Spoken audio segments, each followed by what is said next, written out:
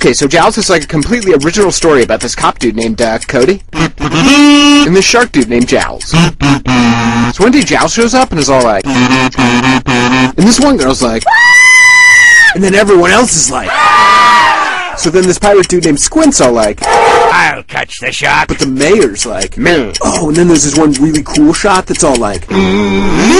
So anyway, then Jowls trashes the stock, Cody yells at his kid, and these fishermen catch Jowls, and they're all like, until the smart dude Cooper tells them it's not Jowls, and they're like, and the mayor's like, but come 4th of July, it's like, all over again. So cop dude, smart dude, and pirate dude set sail to catch Jowls, and at first it's all like, Show me the way to go home. but then Jowls shows up, and it's like, then they try to fight him with barrels, and Jowls is like, then they try a cage, and Jowls is like, and then Squint's like, and then the boat's like, and Jowls is still like, and the cop dude's like, Smile, you son of a. and then Jowls is like,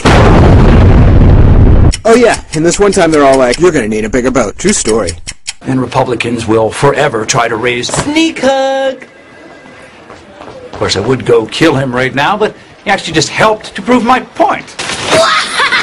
Look, you love this woman, don't you? Yes. You want to hold her? Yes. Please her? Yes. Then you got to, got to try a little tenderness. The chicks love that romantic crap.